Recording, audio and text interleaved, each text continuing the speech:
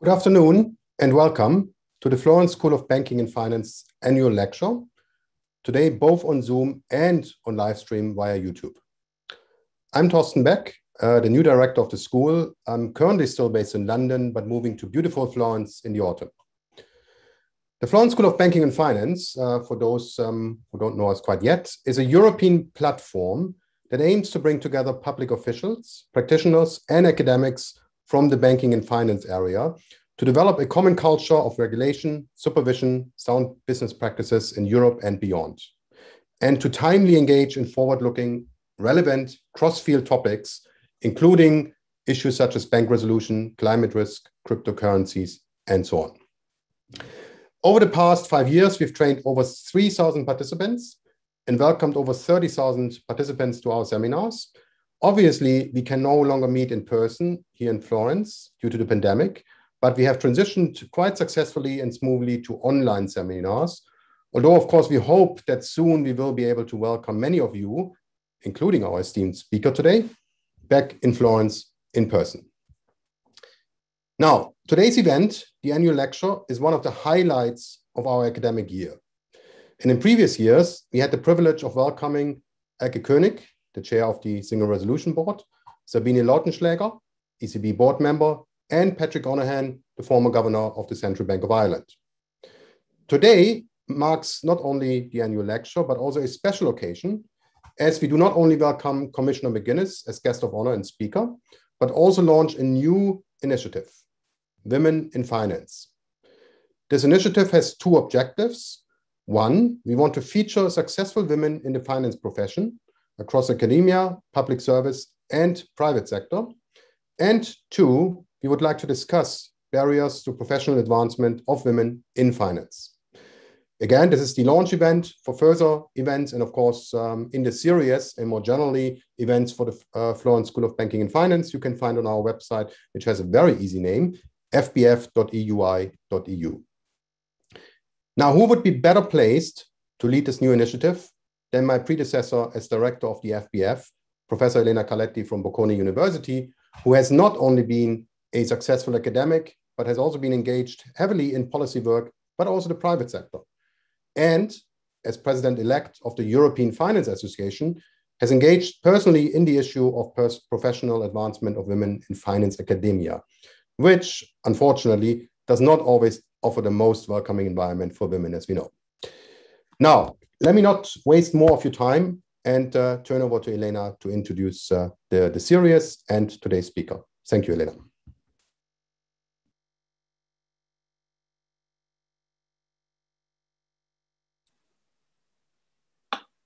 Okay, can you hear me? Yes, okay, now you can. Sorry, I was freeze for a second. Thank you, thank you very much, uh, Thorsten, for the very kind introduction. And I think this is very nice because it signs a little bit the passage of uh, some responsibilities for the Florence School from me to you. So welcome to the Florence School. And I'm sure you will push the school uh, further and will be a big success. So good afternoon and welcome to you all to today's lecture. The lecture is entitled Making Finance Work for Citizens. And as you know, is given by Commissioner uh, McGuinness that we warmly welcome and thank you very much for the time that you're giving us today in your busy schedule. I'm really honored to, to, to be able to do this today and launch the Women in Finance series for a number of reasons. First, I'm delighted to welcome the commissioner. I think she is really putting on her agenda a very important topic, and I really um, look forward to, to what she's going to say. As you know, the uh, Ms. McGuinness is the European Commissioner for Financial Services, Financial Stability and Capital Markets Union, and she has been in this position since October 2020. But she has a longer history and past as um, the first Vice President of the European Parliament and a member from, the, from Ireland in the Parliament. So she has a very long career, and I'm sure she will teach us a lot of, um, of the experience she has.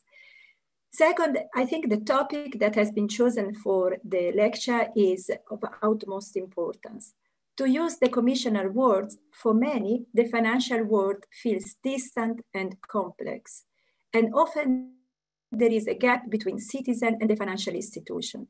And as we will discuss today, the Commission McGuinness has put very high in her agenda the wish and the need uh, to bridge this gap. And we're, I'm really looking forward to see how, how she plans to do it by boosting financial literacy, by designing financial regulation, keeping in mind the citizen and not only maybe financial institutions and other ways she will explain shortly. And finally, as Thorsten said, this event represents the kickoff of this new series called the Women in Finance. It's a series that is very dear to me, also as my role at the European Finance Association, but is in general as a female professor in the finance professor. I think that we all know the problems, the obstacles, and the difficulties sometimes young professionals face in this um, in this field, and therefore I would like to ask the commissioner if we can spend a few minutes also in this direction, maybe towards the end of the speech, in giving advice to the young female professional and maybe discuss barriers that you yourself may have experienced in this profession. Let me say the series will meet three or four times a year, and the next event will be on the 29th of June, and the lecture then will be given by Professor Annamaria Lusardi from uh, uh, George Washington University. And again, we will be touching and we will continue discussing topics related to financial literacy if you know the work that Professor Lusardi has been put forward in the recent, all her life and the recent years more pronouncedly. So now let me go back to the seminar today. We will start with the speech by the commissioner and we will then open the floor for discussion. We have already received a number of um, interesting questions to pose to the commissioner during the registration phase. But for those of you that attend the event in the Zoom platform, you are welcome to pose further questions in the Q&A chat box.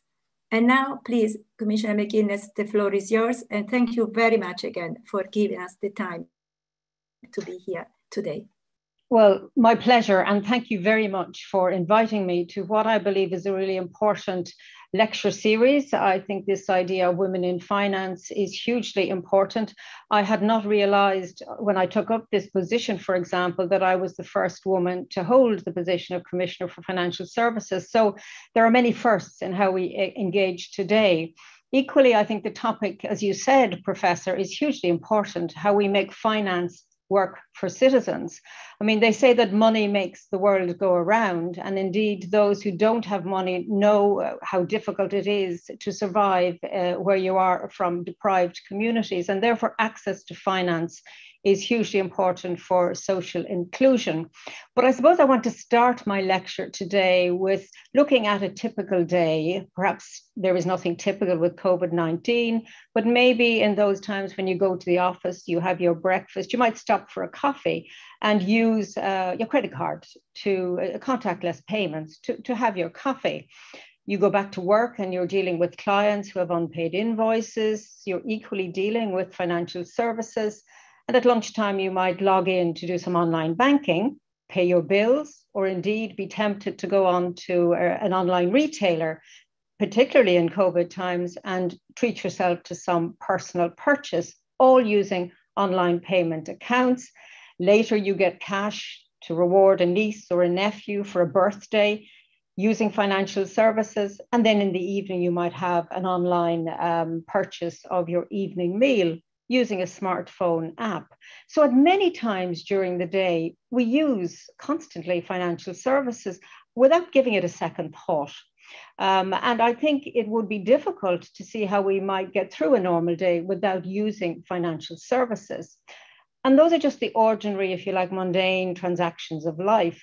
But even in the bigger occasions, the milestones of our lives, like when we open our first bank account as a marker of independence and responsibility, or when we start our first job and our first paycheck goes into that bank account. These are very big moments in the lives of citizens. Equally, if you look at when you get your first mortgage, uh, and those are issues that become sometimes more difficult for the younger generation. But again, it's a milestone that we use financial services. And of course, the big issue about when we then retire from the workforce uh, and how we have, if you like, paid or contributed to pension funds. So, in the little things and in the big moments, financial services are front and center of our daily lives. And it is extraordinary that we don't speak about them as much in our day to day conversations. Um, and they are so embedded in the everyday that uh, it is also quite concerning that for many of us, these financial services are regarded as quite distant from us and quite complex for us uh, in terms of understanding. And one of the key issues for me, and I, I would say this with some regret, is that trust in financial services remains low. Uh, and this is an issue, I think, for the financial services sector to address and equally for citizens to understand why this is the case. And for example, the latest Commission Consumer Market Scoreboard ranked financial services as one of the worst perceived markets from a consumer perspective. Equally, consumers rarely switch financial service providers, and that may be a sign of the perceived complexity involved even if you're not happy, you might just stick with your service provider. And again, if we look at some figures, the 2016 Eurobarometer survey found that 71% of consumers had not changed any provider of financial products or services in the previous five years. So, taking a European perspective, financial markets are not integrated enough, and the single market is not serving people as fully as it could.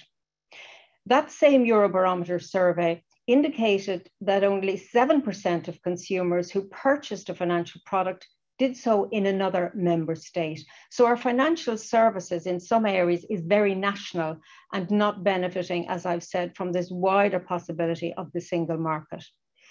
A key point is that financial markets should not only work for big companies and financial institutions, they must deliver for SMEs and consumers. And as Commissioner, I want to help bridge the gap between citizens and the financial institutions that serve them and ensure that financial services deliver for citizens. I think helping consumers, um, if you like, trust financial services and creating a fully functioning single market is no easy task. But I certainly will do everything I can to reach that goal. Let me look to how we are all equipped to deal or not with financial services people should understand how the financial system works, how it affects them, and how to make the best decisions for themselves. In other words, they should be financially literate. And we know that individuals who are financially literate are able to make more effective decisions about their personal finances, such as buying a house, saving for retirement, and making the most out of savings and investments. These financially literate individuals participate more in financial markets and are better able to diversify risks. They're also better prepared for retirement, less inclined to borrow excessively, and better able to avoid fraud or scams. But the reality is that financial literacy levels in the European Union are generally low. The OECD International Network on Financial Education's 2020 survey of adult financial literacy found that only 26% of adults responded correctly to questions on simple and compound interest. And these are concepts that we need for basic money management and savings. We also know that financial literacy varies across society and across the European Union. On average, in the European Union, low income groups, women, young people, and older people score lower than the rest of the population on financial knowledge. Some EU countries score highly in financial literacy survey, while others have much lower levels. Now, the cost of financial literacy is high, and sadly, it is paid disproportionately by the most vulnerable groups. As we look to build a more sustainable and inclusive society, we need to look at how financial literacy can play a big part while leaving no one behind. Again, let's look at the reality at the ground level in the European Union. One third of our households are financially fragile, meaning they would not be able to face an unexpected expense in normal times, let alone during times of pandemic. So we need to improve levels of financial literacy. And this is all the more urgent in the light of digitalization, which makes ever more products available to anyone with a smartphone, while also making it more difficult for people without digital skills to access services. Now, digital is also about speed, and this is both positive and negative.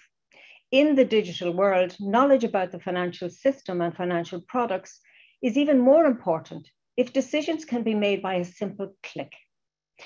Now, education is the responsibility of national governments, but we in the European Union level can support and coordinate efforts made at national level.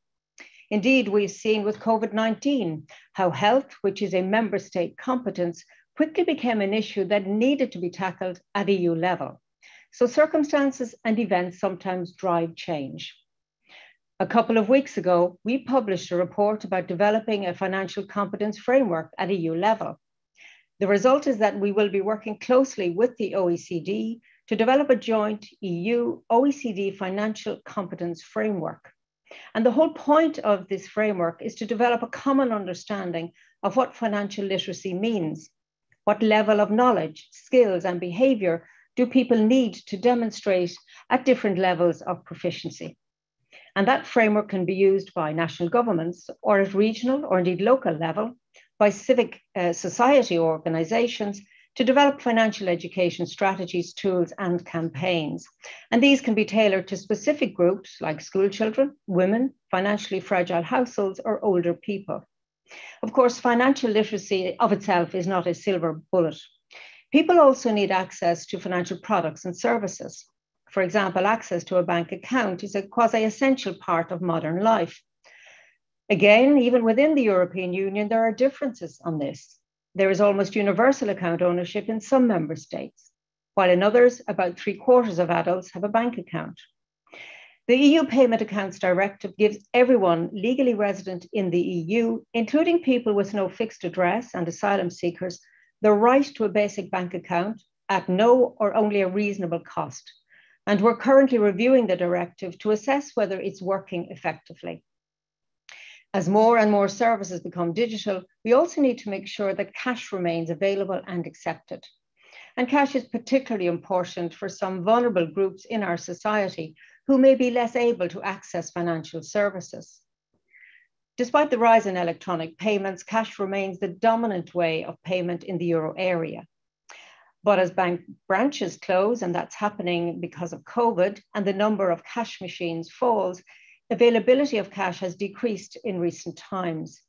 Indeed, concerns during the pandemic about cash being linked to viral transmission, despite the ECB and other central banks, indeed the World Health Organization noting the risk is minimal, has seen businesses less willing to accept cash. The Commission, alongside the ECB, national central banks, and treasuries, is monitoring these latest developments and if necessary, we may decide to take action to protect the availability of cash towards the end of the year. And while we continue to support the role of cash, we are also looking to the role of electronic payments. And the use of these payments has increased considerably over recent years, a trend reinforced as a direct result of the pandemic. Online transactions in the European Union have grown rapidly in the last year, and now represent about one third of overall transaction volumes, compared with one fifth at the beginning of last year. And this increase in the use of digital payments, in line with the overall digitalization of our economy, looks likely to be sustained even when the pandemic has passed. The extent of digital payments is particularly visible among younger people who have known nothing but a digital world. They also have different expectations regarding easy and quick payments. This digitalization includes the issue of a potential digital euro and crypto assets, so-called stable coins. We need to keep up with technology and put the right regulation in place to make sure people can benefit from the latest innovations safely.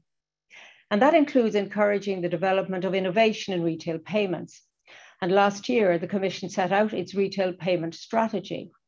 Our vision is to bring safe, fast, and reliable payment services to European citizens and businesses to ensure choice, convenience, speed, and safety when making domestic or cross border payments.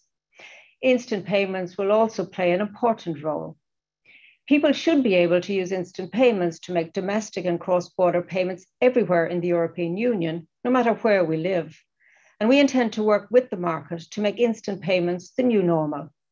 We have just launched a public consultation where we want to hear from everyone with an interest in payments, users, providers, regulators, and more.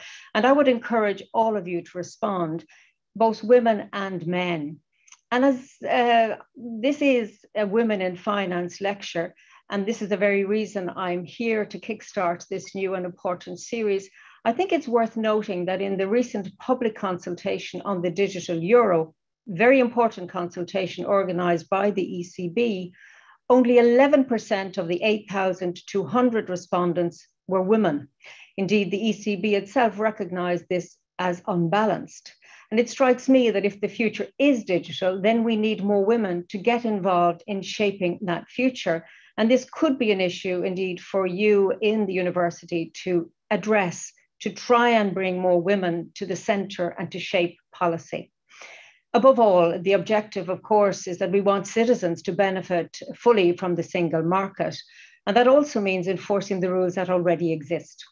So, our single euro payments area gives consumers and businesses the right to make euro payments from their account to another bank account, regardless of whether these two accounts are located in the same member state. Now, unfortunately, we regularly receive complaints from consumers that only domestic IBAN numbers are accepted by a company or sometimes by a public authority from a credit transfer or a direct debit.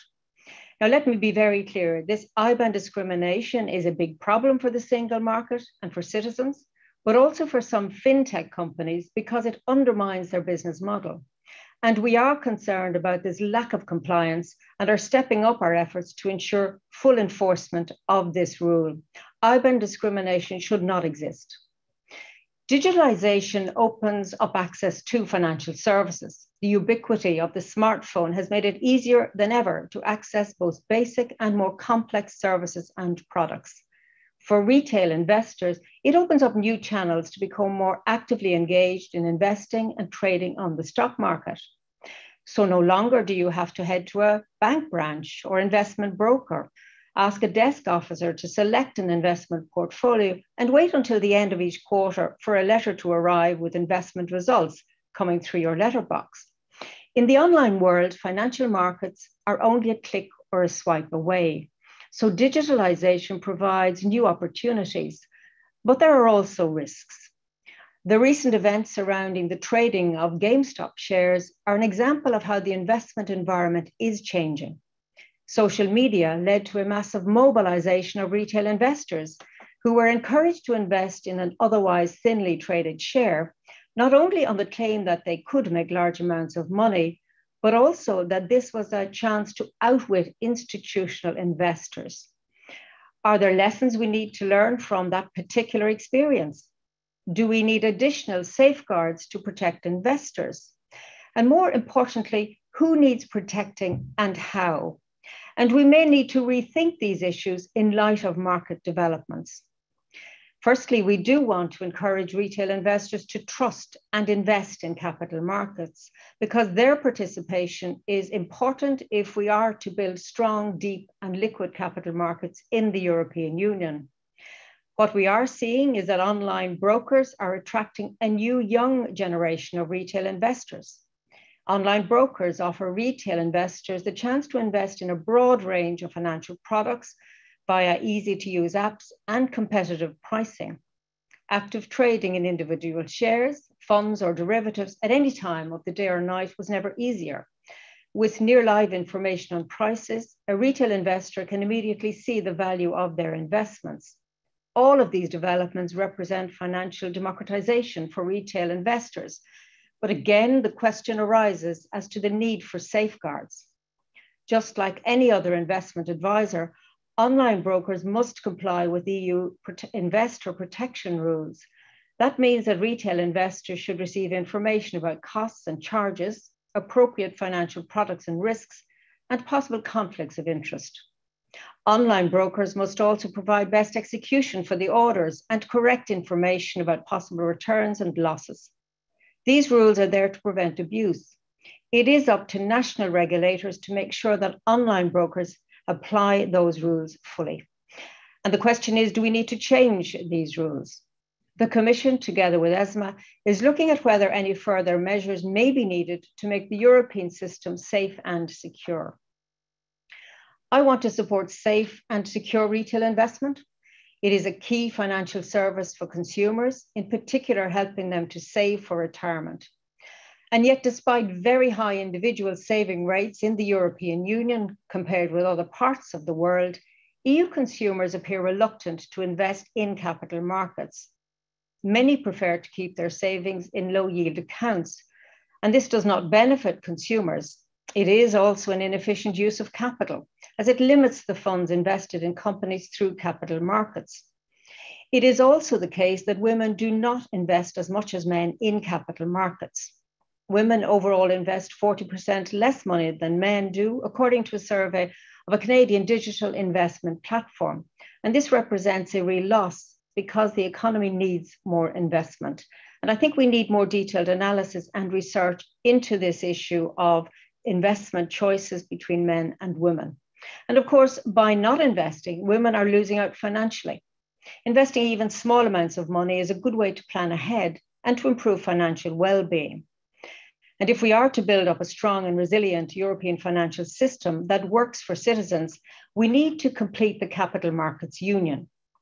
The CMU is about building up the single market for capital so that money can flow across the European Union for the benefit of consumers, investors, and companies, regardless of where they are located. In September last year, the Commission presented its new CMU action plan, and one of the three core objectives is to foster greater retail investor participation in capital markets and make the EU an even safer place for individuals to save and invest long term. Greater engagement of retail investors with financial markets will unlock sources of funding for companies that aren't dependent on banks and can also speed up the economic recovery after the COVID crisis. So, we want to empower citizens through financial literacy build retail investors' trust in capital markets, and support people in their retirement. The measures include assessing rules in the area of inducement and disclosure. Disclosure rules are set out in different legal acts, and many stakeholders have pointed out to us divergences and discrepancies. Consumer and investor organizations have criticized the payment of inducements to sellers of financial services products because they often lead to biased and poor advice. We need to make sure the framework works from a consumer perspective. And we have commissioned a large scale study, including behavioral experiments and mystery shopping exercise to gather real life evidence. We also intend to review the appropriateness of investor categorization in EU law. And this would ensure appropriate, more tailored safeguards for our investors and reduce the administrative burdens. And we intend to address the quality of investment advice by introducing a certification requirement for advisors and assessing whether to introduce a pan EU quality label for financial advisors. Early next year, we will elaborate on all these issues in our retail investment strategy. It will be a chance to place retail investors at the very heart of our policies and assess the entire length of the retail investor journey. As a first step, we will shortly be launching a public consultation to gather views on how the current rules work and what might need to change. When we talk about finance working for citizens, we should not only talk about retail investors or consumers, we should also be making sure that the financial system serves our society in a broader way. Let's take climate change, for example. Young people have been reminding us that their futures are at stake through marches and school strikes, highlighting that we are in a climate emergency and this is something that the European Parliament, while I was a member, voted for, recognising that we are in a climate emergency and that there is no time to waste. Finance has a vital role to play in our transition to climate neutrality. The Paris Agreement recognises the importance of finance. Its three long term goals are limiting the global temperature rise, increasing adaptation to climate impacts, and aligning finance with climate action. We're already experiencing the effects of climate change and environmental degradation. These uh, present real risks that are not yet reflected enough in our financial system. We will need a huge amount of investment to recover from the COVID crisis, and we have an opportunity to build back better for a greener, fairer, and more sustainable Europe. For all of these reasons, the EU wants to provide a comprehensive framework for sustainable investment as a key part of the European Green Deal. We will provide the tools and incentives to channel the demand for sustainable investment in the right direction to help companies and investors know what is green, to avoid greenwashing, and enable the transition towards sustainability. We have a number of tools already in place and more are being developed. We are continuing to develop an EU taxonomy for green economic activities to provide a common definition of sustainable activities, giving clarity to companies and investors about what they need to do in concrete terms to meet the EU green targets. The Commission is also working on a proposal for an EU green bond standard based on the EU taxonomy. The aim is to create a gold standard based on best market practices available to all green bond issuers on a voluntary basis. And this standard will give issuers a high quality green bond, a reliable way to show their environmental commitment. Later this year, we will adopt an EU eco label for retail investors so that they can clearly find credible financial products. And finally, transparency is a key part of sustainable finance. So investors, companies, and the wider public know what companies are doing about sustainability. An updated non-financial reporting directive is imminent to strengthen sustainability disclosures by corporates. A financial system that works for people also needs to be stable, and this is a key part of our work. I opened my remarks today by talking about how financial services are embedded in our everyday lives. We notice that particularly when they don't work, when the system fails. During the global financial crisis, irresponsible behavior at financial institutions had a huge knock on effect on the entire global economy and people's homes, jobs, and livelihoods. People lost confidence in the financial system and withdrew their money from bank accounts, further weakening fragile banks. Fragile banks and bank bailouts can impact national finances. In turn, if governments have high debt levels, the exposure of banks to sovereign bonds becomes even riskier. Fragile banks lend less, which slows down economic activity, increases unemployment, and reduces government revenue. That's the doom loop we saw in the Eurozone debt crisis. And since 2014, we have been working hard to break that vicious circle, building a strong banking union. And this banking union will be founded on three equally important pillars. First is the common supervision of our banks so that rules are implemented fairly and consistently across the European Union. Second, common procedures when banks can no longer meet their obligations and have to be put into resolution. And the third pillar, which does not yet exist, is a common deposit insurance scheme to give a common level of protection to bank customers, regardless of where they are in the European Union. I'm determined to take decisive action to complete the banking union. It is a project that can seemingly seem quite technical, but of course, its completion would have a positive impact on everyday European citizens' lives. It is about ensuring financial stability and trust in our banking system. Beyond financial stability, we also need to have financial supervision that guarantees the integrity of our financial markets and protects investors. Recent scandals have had spillover effects across EU borders. If we look at the Wirecard case, this undermines confidence in European capital markets and hinders progress towards the capital markets union. A citizen living in one EU country can invest in a fund established in another EU country. They need to have the same level of trust in the regulator of that country as they would have in their national supervisor.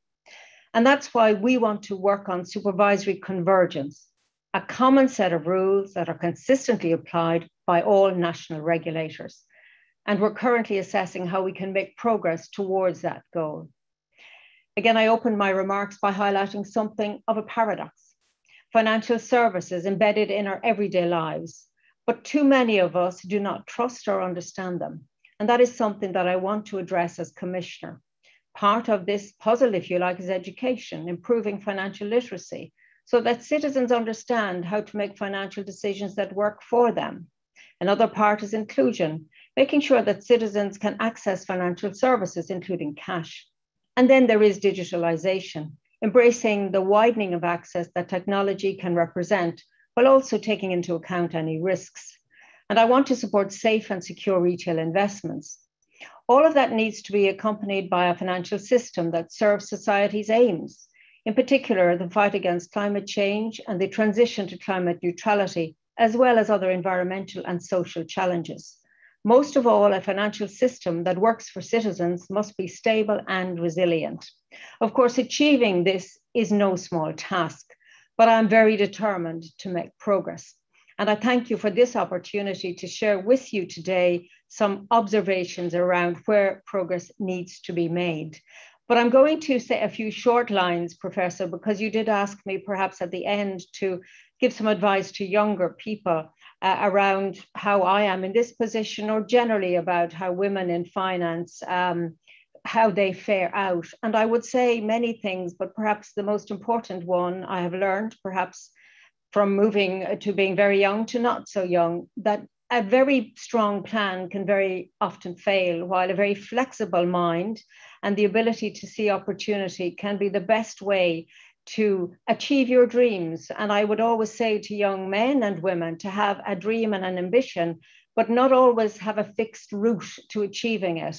There are many ways to progress, and sometimes the more convoluted paths bring the greatest rewards because we learn as we make movement along that path. My second word of advice is that embrace failure uh, rather than be fearful of it sometimes we have to make decisions that are difficult, like my decision in 2004 to move from a very nice world of journalism, where I had a very nice career, to the very uncertain world of politics. And I remember at the time making that decision, knowing that I had no parachute, I had no safety net to go back to where I once was. And of course, it was terrifying.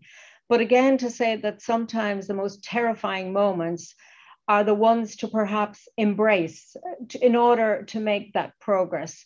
And thirdly, never underestimate how difficult it is. And when I get back to talk to schools, I hope in presence and indeed in universities, I always stress the need to build resilience within each and every one of us.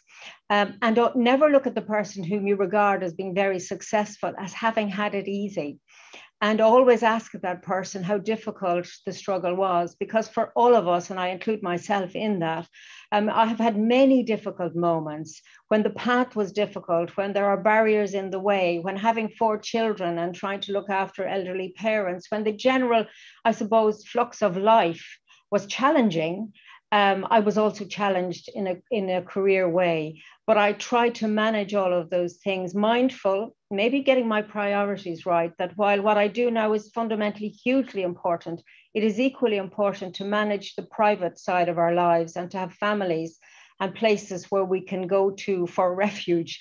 I think that's really important. Uh, but I, I suppose my one word is never be put off by criticism, by those who say you'll never do it but always remember those who tell you those things, and that when you achieve something, that when you meet them again, you can say, Well, actually, I did achieve things because I persisted, I was resilient, I was motivated, and I worked really hard. And I think if you are driven by those basics uh, within yourself, there's very little that can stop you. Thank you. Thank you very much, Commissioner McGuinness. This has been a fascinating uh, lecture and you touch on so many topics and thank you very much also for your final more personal remarks. I think uh, endurance persistence flexibility resilience are indeed the characteristics that should be important not just for women but for men as well. But given that women sometimes may be more they may feel more the difficulties then these characteristics of course are even more important for them. If you don't mind i would open now a little bit the floor for questions and i would like to maybe restart a little bit. You touch on so many issues that it's difficult to, to, to cover all of them in the Q&A, but the ones that really, um, if I can reorganize slightly, a part of the speech you gave. Of course, you focus a lot on retail investments and retail investors and the fact that people participate in invest, investing. Uh, because this is good for them, but it's also good for the economy overall because it's a better use of capital. Now, in order to do that, the first characteristics and the first, I mean, the first element is knowledge. And you touch upon financial literacy many, many times.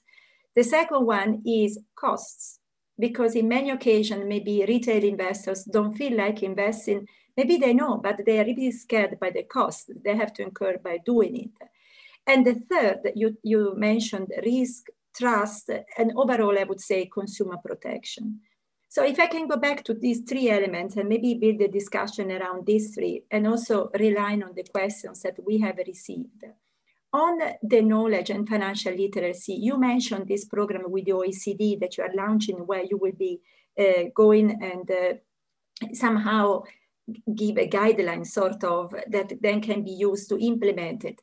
But the first question I would have for you, do you think we need to make financial literacy and financial education mandatory?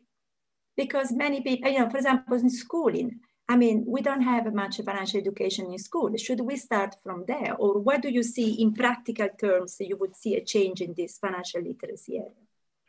Well, thank you for the question and for picking up some of these very important topics. Um, I think that uh, the key point for me as a commissioner is that it is the member states who look after education. So, in a sense, what we want to do is broaden the conversation with member states on financial literacy so that they will see perhaps a need to have more financial education embedded in the system.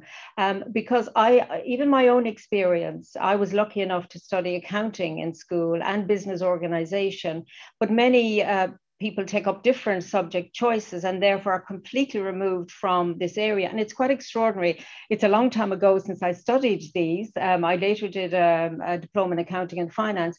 But once you have those basic concepts, they stay with you. Um, and while I wouldn't here declare that I think, yes, financial uh, education should be made mandatory, what I would hope to do in my time is to encourage member states to see that a, a, an informed citizen makes good financial choices, which is good for member states because you have less reliance maybe on public support. So that what you need to do is shape the conversation in the direction of saying the huge benefits of uh, financial education. Look, let's be very clear knowledge is power. And I, have always believed that at all stages in every topic. When it comes to the financial world, it is interesting when you look at the traditional newspaper, the, the section on business is apart from the other parts. So it's not woven into uh, the other parts of the paper. There are financial newspapers that deal with the financial industry. And in fact, this separation uh, feeds into this idea that access to that area is, is not forbidden, but it's not easy to, if you like, enter. And I think what we need to say to citizens is be prepared to ask the simple questions. Uh, maybe because I come from a, a, background of journalism, that I'm not afraid to ask questions, even in my job here. If something doesn't sound logical to me or I don't get the point, I ask, explain this again. And I think we should empower people to be able to ask questions, not to know everything, but to be able to ask the key questions. So while I wouldn't declare, yes, mandatory is the way to go, what I would like to think is that in our work with the OECD, we will, if you like, demonstrate that empowering people around their financial health, like their physical health and mental health, is really a big asset to uh, countries and to society. And therefore, it becomes almost logical that we include financial education. I think it's more important now than ever because I do think that digitalization has opened up access to finance, but it has also made it a more rapid, if you like, access instant. Um, and in instant, you need to be aware before you are, if you like, in that frame of clicking or swiping of exactly the implications of what you're doing. I also am aware, I suppose, I, I listen a lot to conversations, and I have four children in their 20s that they are now accessing information through their smartphone apps about investing. There's a lot of push around Bitcoin uh, coming to that generation. So in my role, it's amazing. My, my own family are questioning me about these things and their friends and their contacts. So this conversation is happening. And I think a lot of that younger generation are actually hungry for information and knowledge so that they can make the right decisions. They're also a generation which will face the biggest challenge around pensions. Um, and the, you know because we will they will have to support if you like more than than people of the past and they are the ones who are challenged now to try and make savings for their future so in a way this is right time now to do something to have that uh, knowledge power. And i would like to think that we could integrate more the whole world of finance. It is in our everyday life but it for some reason there's a chinese wall or something that divides it from uh, our reality and it shouldn't exist like that. So i will work really hard with member states to encourage them to see the benefits so it doesn't have to become mandatory. It becomes absolutely essential Yeah, of course, uh, I, am fully in line with you. But of course, uh, if you don't make it mandatory, and I agree with you that maybe it's not the best way to do it, you need to be able to attract the part of the population that need it the most and is typically most reluctant to get to get closer to the world of finance. No, and I'm talking, of course, women, but also the low income, the, I mean, the, the lower income part of the population. So how do you think we can make them participate more if you don't make it mandatory in a way? It's the most difficult part to to reach. Yeah, I think in my, my presentation, I mentioned that the work with the OECD will provide a framework so that organizations that work with um, women or groups who are disadvantaged will have this, if you like, framework or tool to use so that they can integrate into their engagement um, with their um, citizens this knowledge. And I do think that, you know, small initiatives at ground level can be groundbreaking. And therefore, I really think that this work with the OECD is, is very significant. Um, I'm very passionate about it personally. I'm very driven by this. And I, I will give you the reason why. It has always troubled me a little that when you most needed money, you had very had great difficulty accessing it and you were charged more for the privilege of getting it. Those who have a lot of finance can get great access to more and pay less for the privilege. And I've always felt that there was something there that needed to be looked at. So, therefore, this framework for me is a way of developing a more inclusive society around access to finance. Um, and very often, both in Europe and indeed in the developing world, we see where small savings initiatives, local credit unions, women's cooperatives around finance, you know, with small amounts can actually multiply a huge benefit. So, so look, I, I think that if we get the conversation right, and indeed institutions like yours, I think, can be part of this, we, we may then move to a place where those who see the benefit will act, member states will move, and those who are slow to move will, I think, be encouraged to. I mean, it is not for me to mandate what should be done in the education area, but I think by speaking out, by pointing out, and by being very proactive, I'm hoping that member states will see very clearly that this is an area where they will benefit hugely from. Because as I rightly pointed out, if you have the right knowledge around finance, you make the right decisions, you make the best decisions. Those who are starved of that knowledge, naturally make um, you know more difficult choices because they don't have access to information. So i think there's a collective responsibility on all of us perhaps those who are engaged in this lecture to seek out ways of making sure that access to knowledge and power around financial system is more available. And maybe also the financial system needs to speak in language that is more accessible I mean, I have learned more acronyms in my time, which is six and a half months in this job than perhaps any time in the past. But again, I'm not shy about asking, explain those ones to me again. And I do think sometimes um, the fear of asking is where people avoid educating themselves because of that fear. And I want to break that down because I think that is part of the problem. I agree. Let me turn to the second point, the cost. So you mentioned that you want to have, I mean, of course, the financial system and the institutions need to follow in this idea of uh, involving more retail uh, people into finance. So let me uh, read a question that actually concerns Ireland. The Irish banking market already displays a limited consumer choice and a high interest rate. Now KBC says it will quit the country and sell assets to Bank of Ireland. Does that worry you? What you will do about it? And this is just an example of the cost you know, that the retail investors face and how do we go about it. Okay, let me speak in general and then maybe to the particular point because clearly it is the member state I know best. And indeed, its history in banking with the financial crisis was particularly difficult. And that is one of the reasons why the uh, capital ratios are higher for banks. Um, I think if you look at what we're trying to achieve is a banking system that is less national and more cross-border. And the truth is we don't have that. We have very nationalized banking systems. When you look at the particular issue raised uh, by that question, we have had in uh, a very short period of time an announcement from two banks in that member state that they are leaving. And there's a lot of debate around why that is happening and also the impact it will have. I'm not going to delve into too much detail because this is a rather new development, and I want and will be framing uh, my comments around that uh, very shortly. But it is true to say that there will be competition issues that perhaps um, the, the Commission colleagues here will, will want to look at. There are concerns clearly for those employed in these banks, um, and there's also concerns for those who are customers of these banks. And I think with the fundamental question of why this is happening needs to be addressed.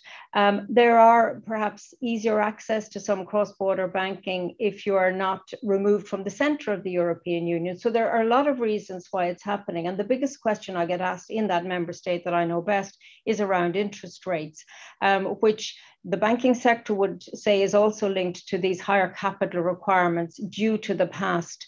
Uh, and these are things that are there for good reason, for regulators wanting to have, uh, if you like, certainty that we don't repeat uh, the problems of the past. I think what concerns me is that we are living with the legacy of the past when we should have moved on.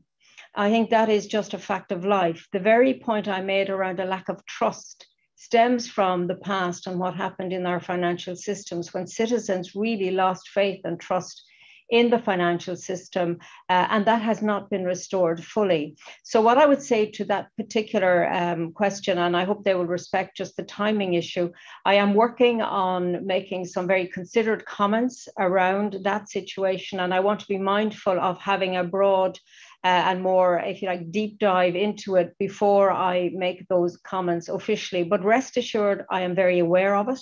Uh, I'm also watching to see what's happening in other markets around uh, banking uh, and how there is comp competition or otherwise. I do think um, that uh, what has struck me in my short time in this portfolio is that COVID 19 is accelerating change in our banking system at a pace that none of us would have anticipated. And I think that we are all almost catching breath with the rate and pace of change. I'm not just referring to perhaps the physical branch structure closing uh, in many parts of Europe, but equally the fintech sector, the different service providers, um, that there is such a rapid rate of change that the traditional banking structure needs to adapt to that because if you don't, then you face a very, very uncertain future. And maybe I would give this challenge to you as well that there needs to be some engagement that you could perhaps host around visions for the future, which is not really about banking, it's about finance. Um, if you look at the prospect of a digital euro, I mean, this could change many things depending on how it might be introduced, and that decision is not made yet. But we know that China is already in advance. We know that the UK has made a decision. So, in a sense, while we haven't uh, absolute clarity, we are aware of a direction of travel. And I think we need, if you like, uh, an ideas forum where we put all these things together and try and envisage the future for finance, which includes banking, but not just exclusive of our traditional thoughts around banking. Because one of the things that strikes me is that our regulatory um, framework is fit for a certain model. And as I said, may not be fit for an evolving, uh, more dynamic uh, model. And that's why when I talk about a younger generation, about information, knowledge, power, it is with this in mind that the, the, today is very different than a year ago. We had not anticipated this rapid change, which will not be reversed. Um, and I think maybe societies need to ask is this good? What can we take the best of? What are we concerned about? And how do we as regulators make sure that the future is safe and stable and that citizens can invest hard earned money uh, so that they are not fearful of losing in this rapidly evolving time? Yeah, let me let me go back to one issue that is uh, relating a little bit. You touched many times on the role of banking, the, of banks, but also the role of financial regulation and somehow a little bit the literacy that we have from the past. So linking it a little bit, for example, going back to the issue of difficulty and cost for retail investors again. When a retail investor wants to invest, he or she is inundated by information in the prospectus of the fund, which makes it extremely difficult for a retail investor to understand the product and what's going on. So what is the balance between regulation on the one end, but simplicity and access to easy information for, in particular for retail investors? Do you think this requires a rethinking of the regulation or how do you think about it? Look, I always give the example of when I'm going on the internet and, you know, have you read the terms and conditions of something which are lengthy? And of course, none of us, well, maybe hands up those who do faithfully. Some do, but many of us don't. Uh, and I think this speaks also to the point that you make that uh, are we giving too much information to uh, consumers and might we better tailor that information? And I think getting that balance is always difficult. I mean, just providing documents so that we have it done without it having an effect might not be the best approach. So I'm very much open to listening. And I think our study, which will be very significant, I will wait until I see what this study shows in terms of whether there is too much information in the right format or in the where we need less more in different areas what is the actual experience of the investor? Because i think there's a step before you even get to this information point where how do you break in and while it may be easier now with uh, apps and whatever, um, it's still quite an area where the individual might be quite daunted about entering into. And that's why, even in these COVID times, those who are working are saving vast amounts of money. And it's an issue that the banks feel that they have too much on deposit, um, such as the extent of savings. And I suppose there's two comments around that. We would hope that that saving would now roll out again to reinvigorate our economies. But equally, you would wonder why that money is not being invested. And again, I think our study should and I hope will show us what those barriers are. We we have had feedback, and of course, in my engagement, I hear from the uh, if you like the companies, the advisors, that they are obliged to do things which they feel are not in the interests of their clients, but they are in the regulatory framework. So I think a lot of dialogue, a lot of listening, a lot of understanding what is necessary, what might be needed to be reformed is where we will make our right choices. But it will be underpinned by this study. And I'm, I'm very open to listening uh, because I do think we need to break that, if you like, um, barrier where people feel less inclined to look at investing their money in a way that might be better for them and simply put it where they feel well it's it's in the bank and it's it's relatively safe. So uh, we have a lot to learn about why those barriers exist but there's a lot to if you like gain if we can break down those barriers I'm very conscious that it's uh, almost two o'clock and I really don't want to abuse of your time. I would stay here for hours talking to you, I must admit, but I, I, I know we have to end. Let me just uh, thank you again very much for your passion in particular that you really transmit to people. And I hope this will be somehow also, um, how can I say, a factor that will motivate and will kick on a new world in talking about finance for citizens. And if I may give you an offer, as a, as a future president of the European Finance Association, but also the Florence School of Banking and Finance, we are at your disposal if you think we can really use the university world to foster your public consultation, your access to the younger generation. We are really prepared for help if you think this can be useful. And let me thank you really very much again. Well, look, thank you for that really important offer because I think you have connections that would help us greatly. And even having yes. this exchange, short as it is, is very helpful from my side also. Um, I'm a very practical person, so I, I, need to understand the practical problems um, while also understanding that we need regulations and we need all of the detail. Um, but we need to make sure that they work together so that what we are regulating has a positive impact. I talk about effective regulation rather than just regulation. Uh, and I think we're very motivated here in the Commission around that particular point. Lastly, just to say, it's been quite interesting in my role here that this FISMA DG, which is very technical and very often it is allowed to do its own thing, is now quite central to the transition of our economy towards a more sustainable, inclusive uh, society. And I think that is quite uh, some development, if you like. Uh, so it's also a huge responsibility in this role that we engage with as many as possible, with generations. Uh, I hope you were uh, taken by that figure I mentioned around the public consultation on the digital euro and the, the gender issue there quite extraordinary and really positive that the ECB gave us this information uh, so that we can be aware of these things because they do impact in the long run. And therefore, we must look at how we're gathering information from whom in order that we come to uh, the right decision making. So, really happy to engage with you.